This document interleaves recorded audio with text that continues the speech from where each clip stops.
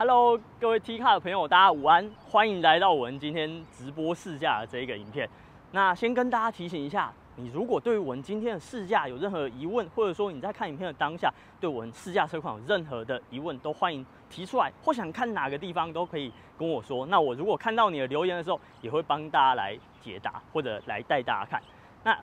今天很高兴的是，我们来试驾一台。我其实不只是我，我相信很多车迷朋友也期待很久了，那就是全新的 Subaru BRZ。那如今这款车呢，除了是大改款的车型，它在整个内外都已经全面进化之外，其实这一次呢，尽管大家上一代车型的时候，大家都希望说，哎，如果第二代车型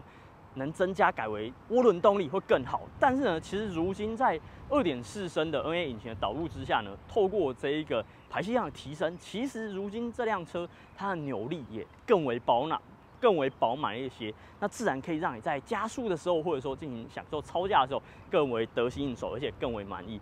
好，那我们话不多说，先赶快来看一下这辆车到底有什么特别跟漂亮的地方吧。那从车头看起呢，你当然首先可以注意到这辆车其实跟它的孪生兄弟，也就是 GR 八六最不同的地方，当然就是在它的这个下气坝的部分。呃，你如果还记得 GR 八六它的样子的话，其实它的这个嘴巴是非常大的。但是我觉得，呃，说到新的 BRZ 呢，它其实这样子比较简约的设计也是蛮不错的。那再来一点呢，其实原厂针对这台新车它的空力表现也有进行优化。如果各位看到这一个有点像是雾面的这个材质呢，事实上原厂它都已经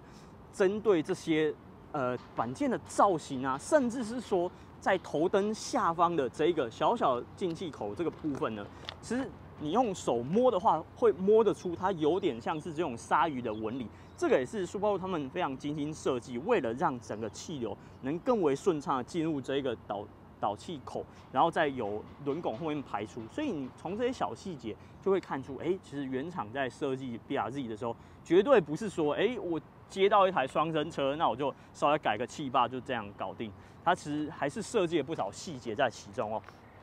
那再来呢，像头灯的部分，除了它这个 C 型的日行灯具，绝对是近年说话车款非常标志化的这个设计哦。那里面的灯具呢，你如果是像我们今天所试驾这个自排车款呢，它基本上也拥有了像是自动远近光的切换的功能。那我相信有这个功能呢，其实当你在行驶一些乡间小路的时候，甚至有时候你可能到一些我们都会讲，车友都喜欢夜跑啊。你假设到了一些深山没有路灯的状况之下，其实当也可以，当然也可以带给你更好的视觉照明。那接着再来呢，我们来到车侧，你其实依然可以发现哦，尽管学生很常在讲我身高真的不高一六三，可是你我站在这辆车旁边，你依然可以看得出来，其实这辆车尺码真的是蛮小巧的。它不止车高是比上一代进行降低了，那整体的这个轴距设定其实也是算小巧的这种设定哦。但是有这一回值得一提的是呢，这一回其实它的这个轴距有稍稍加长一些，再来包含后轮距的部分也有增长，那所以会让这台车呢，在搭配上它这一个后轮拱的造型，你都可以感觉出来，其实这辆车是有一个相当动感的造型设计在其中。那在前面呢，这一个小小的鲨鱼鳃，其实它也是有作用的，它不是做好看的，它都是可以通气的设定。好，那我们接下来赶快来看到它的车尾吧。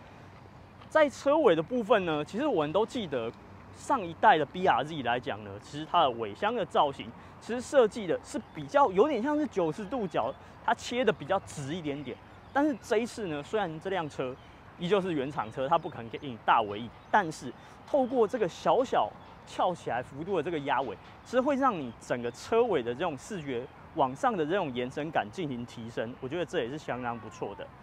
那再往下看呢，除了可以看到如今这辆车已经已经拥有这个 C 字造型的尾灯之外呢，下面的这个排气的尾管尾饰管的部分，其实口径真的是相当大。你如果仔细看的话，会发现它其实里面的。呃，实际的排气管的口径是没有这么大，但是透过这个尾饰管的这个造型之后呢，其实也可以感受到，哎，它这个车尾的视觉张力是挺不错的。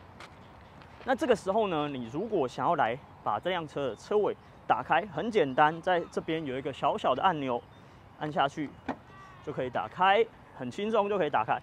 哇！一打开的时候，这个时候可能有朋友就会讲说：“哎，怎么一个备胎占据这么大的空间？”但是你想想，现在其实愿意配备全尺寸备胎的车款，其实真的已经是不多了。那尽管我们都知道这辆二加二的小跑车呢，其实你要讲说它的这个行李容积有多大，是没有到大这么夸张。但是基本上你如果想要多载一个备胎，或者说像是说你的一些两天一夜、三天两夜的这种行李。我相信都是塞得下的。那你如果真的上购物场想要采买的时候，也不用担心。我知道这个现在可能拍不太到，但是呢，它其实两前面有两条拉带，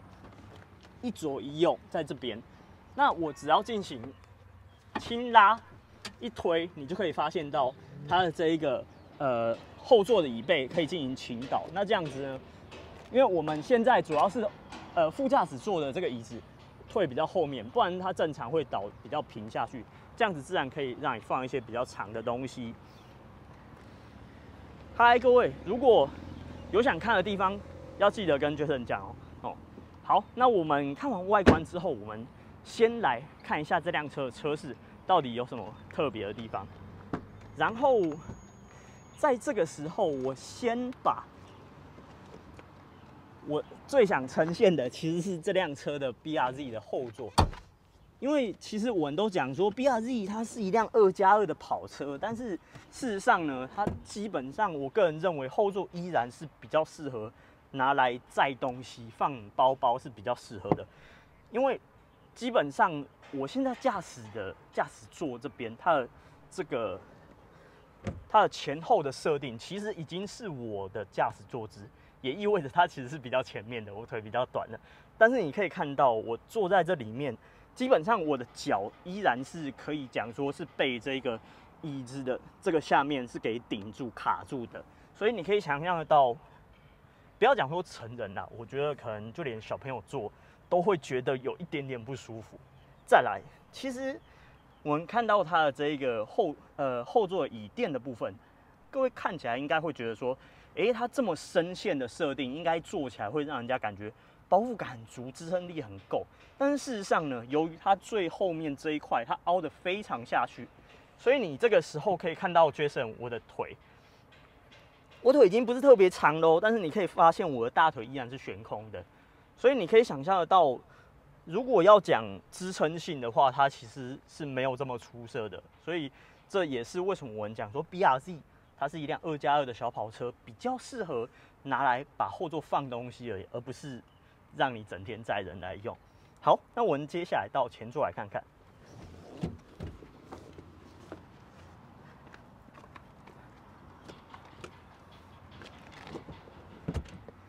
在前座的部分呢，我先把车子给发起来。前座的部分基本上你可以看到。有没有？刚诚如我刚刚所说，这个是我的驾驶座姿。对，那你可以看到，基本上我认为坐到 B R Z 车上，如果各位为呃之前是没有接触过这款车型的人，你应该会很明显感觉到说，哇，一坐上来这辆车让我感觉好低，它让我感觉坐的非常低。那这不只是包含说这辆车的这一个整个车舱设计，还有重心都非常低之外呢，当然像是它椅子的部分，也尽量的可以让你。往下坐，那这样子让你整体的重心都放低之后，你自然会让你觉得说，诶，这辆车除了整个环舱的包覆感是很够的，当然你在高速驾驶的时候，也会对驾驭这辆车比较有信心。那但是其实这一回改款的重点其实有几个，第一个你可以看到在它的这个中控的部分，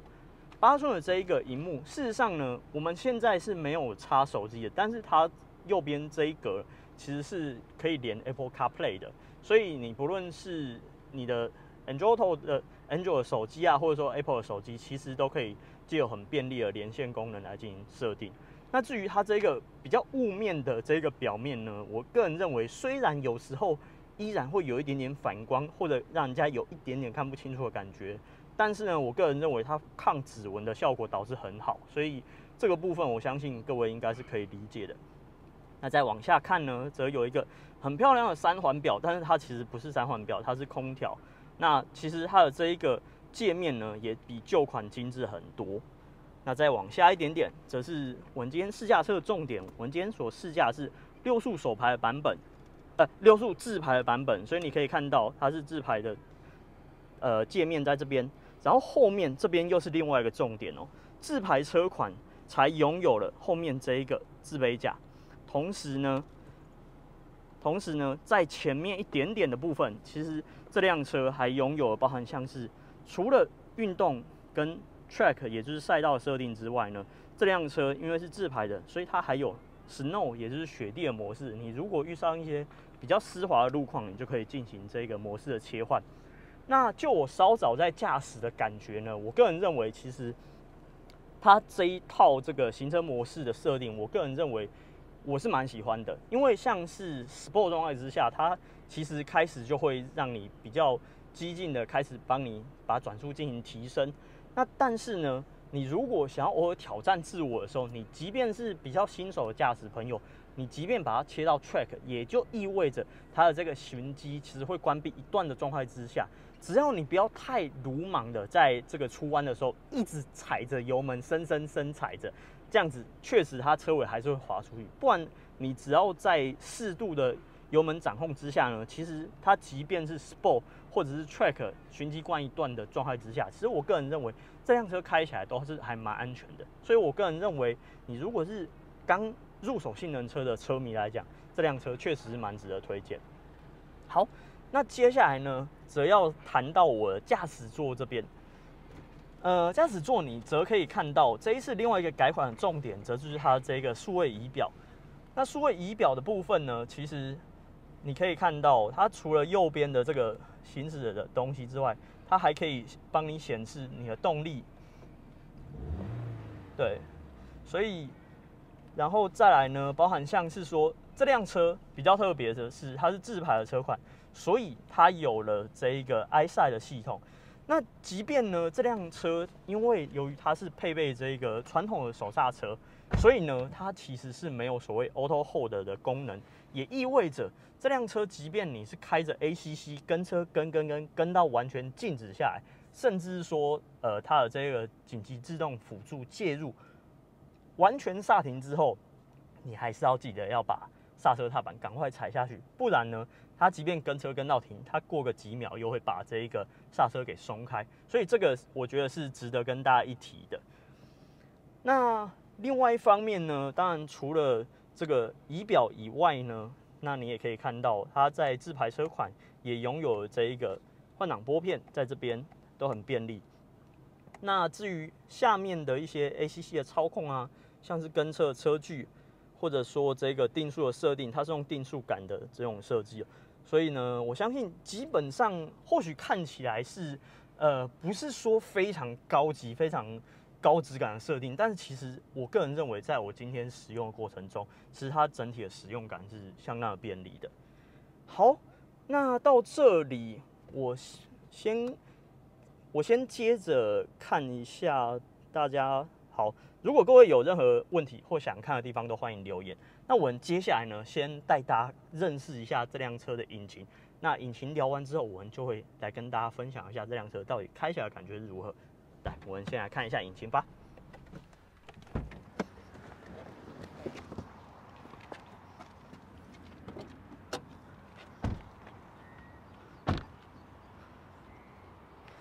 那在 B R Z 的引擎的部分呢，其实当然，诚如我开头所说，这真的是这一台新车新改款的车型的一大重点哦，因为它已经是将这个引擎的排气量提升到二点四升。那二点四升，它除了可以带给你比较丰沛的扭力之外呢，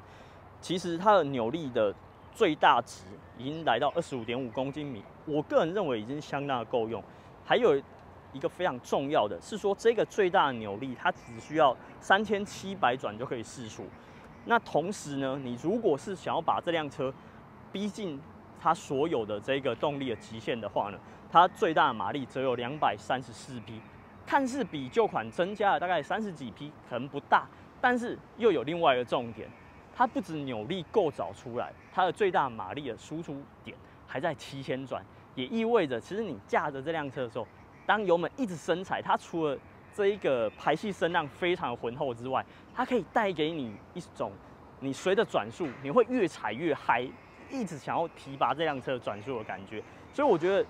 这个部分是这辆车它的动力，你可能在规格表上所看不到的，因为你可能只看得到说，哎，它比旧款动力来大一点点，但是其实它最重要的则是说它扭力提前了，而且。它可以让你越踩越嗨，我觉得这是一大改款的重点。好，那看到这里，我相信大家已经开始好奇说这辆车到底开起来感觉是如何。那接下来就跟着我的短片一起来认识一下 B R Z 驾驶的感受吧。接着跟大家聊聊说吧，我 B R Z 它这辆车它开起来感觉到底是如何。首先，大家绝对不能忘记的，当然是这辆车它所拥有的这个水平对卧引擎的这个配置。那这个配置呢，自然可以让 B R Z 这辆车拥有非常低的重心。但是呢，其实这一回原厂还透过非常多的手段，不管是像是说整个车体重心的降低啊，或者说把两张椅子更为靠拢这些设定，然后甚至连椅子都有进行轻量化，这些种种的手段呢，就是为了让这辆车的重心能更为集中，而且更为低一点点。那再加上它前后配重，其实设定也是相当不错，前五十三 percent，后四十七 percent，自然呢就应该会带给车迷非常凌厉而且均衡的这种操控感。那上路之后呢，其实当一转到山道，我们也立刻可以感觉到这个特点。但是另外一方面，关于我们今天试车还有一个重点，就是说，因为我们今天所试驾这辆 B R Z，它不仅是全新的车款，它已经搭配二点四升的自然进气引擎。还有个重点，它只是自排版的车款。那自排版的车款呢？其实当我在用手动换挡的这个感受的时候呢，确实会感觉，哎，其实换挡拨片一拨，即便它档位显示已经换挡了，但是其实你依然可以感觉到档位啮合的速度，其实并不是像挡显来的这么快，也意味着说，其实它这个整个换挡速度可能还是如有加强的空间。但是呢，也不要对这辆车太早失望，因为我后来发现，当这辆车你把它用到像是 Sport 啊或者 Track 模式之下，高速重踩刹车，其实它电脑会非常聪明的，立刻帮你降档，而且你即便是用手动降档的状态之下呢，它其实对这个进退档的保护，也其实已经都考量到了性能想要保有这种驾驭的这种感受，它并不会过多的干预。所以我觉得这两个部分都是这辆车它非常棒的地方。那当然，二点四升的引擎这一次由于它这个缸径加大之后呢，它整个扭力也更为饱满，自然会让你在出弯，甚至你如果真的拿这辆车去甩尾的时候，你也会发现你在油门踩踏之间呢，扭力输出的这个表现更为及时的话，自然可以让你在甩的时候感觉更好掌握，而且也可以甩得更漂亮。另外一点值得一提的呢，则是速八五，其实对于新的 B R Z，他们其实就连刹车跟空力都有优化。空力的优化当然可以让你在高速行驶的时候比较稳定，而且减少风阻。那另外一方面更为直观，而且性能迷更能体验到，当然是它这个刹车的优化。这一次呢，它其实它的刹车的表现，自动表现其实比旧款来的好上蛮多的哦。即便说我会觉得它刹车踏板的。初阶初段的时候，感觉脚感不是非常的沉，但是呢，其实当你深深踩下去的时候，它却可以带给非常充足的这个制动信息。那另外一方面呢，其实速八五他们为了要创造跟他们双生的孪生兄弟，也就是这个 GR 八六，来创造一些些产品的差异，所以其实呢，他们对于这个不管是车辆或者说这个底盘件，其实也用上了非常多他们独具的设定。比方说，更多的这一个铝合金的这个结构，可以让底盘的反应更为迅速之外，另外包含像是防倾杆的固定位置等等，这些速霸路也都已经把它考量过进去了。所以呢，他们所期待创造的是比 GR 八六更为沉稳，但是却又更为精准的一辆车。那在我今天在试驾过程中呢，确实也可以感受得到。而且相信很多车迷朋友会把这辆车拿去跟像是 Mazda MX-5 来做对比，我觉得这两辆车之间其实还是有非常大的这个产品定位的差异。MX-5 的话，因为它轴距非常的短，而且又非常轻巧，确实有时候在弯跟弯之间，你会觉得，哎，即便那辆车马力没有很大，怎么感觉下一个弯很快就到了？你会感觉那辆车非常的凌厉。但是呢，换到 BRZ 这辆车上之后呢，它虽然它的灵活度并不会逊色于太多，但是呢，它其实却又带来更多的沉稳的这种表现，会让你在弯中感觉。哇，这辆车它的极限不止很高，同时我也可以很放胆去玩这辆车。这真的是 B R Z，我觉得新新车它非常厉害，而且非常棒的这个设定。那你如果还要把这辆车拿去跟一些像是前驱啊、四驱的钢炮来比，我相信会买 B R Z 的朋友应该都知道，开这辆车其实重点不在于你直线能多快，你的单圈能多快。重点是在你能在每一个弯之间，你很安全，但是又信心十足的来享受后续跑车所能带给你的这种魅力，而且甚至你还可以在不断的挑战之中，得到像四驱、前驱车款比较难找到的这种乐趣。那我觉得这个时候，你买 B R Z 一年会开着它甩尾甩几次，其实已经不太重要了，因为你通过每一个弯道的时候，你都会感觉到哇，开着这辆车真的很享受。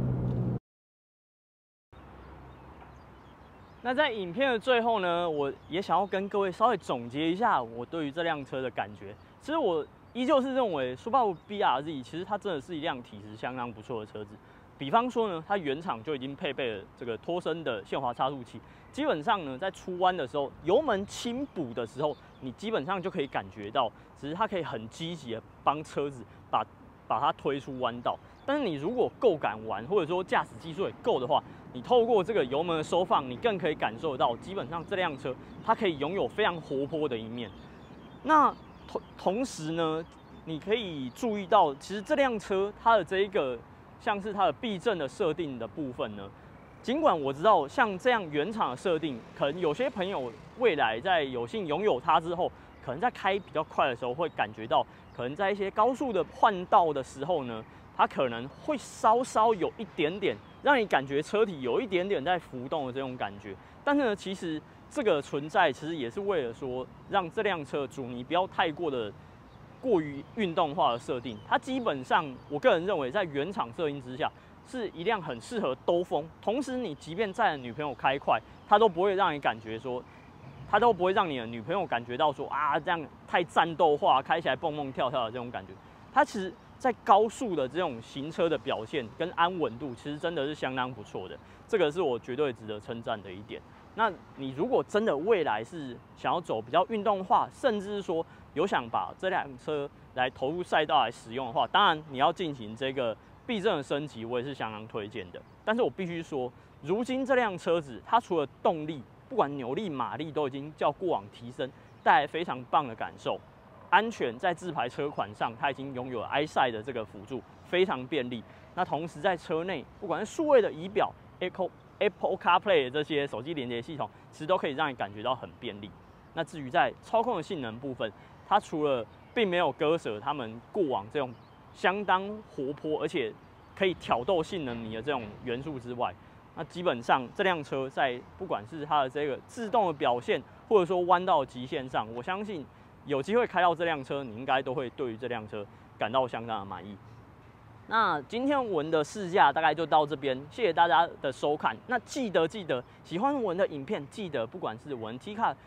FB 的粉丝团、YouTube 或者是我们的 IG，都要订阅、追踪加按赞。谢谢大家的收看，拜拜。